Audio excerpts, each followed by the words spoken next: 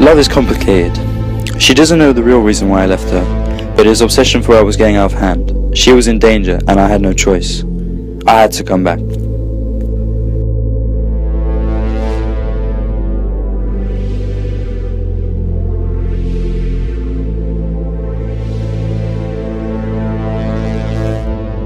Do you ever feel like you're being watched?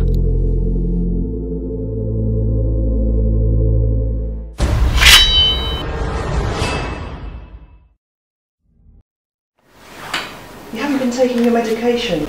You know what happens when you don't. You become reckless, a danger to society. Why the card? A card can say so much without saying anything at all.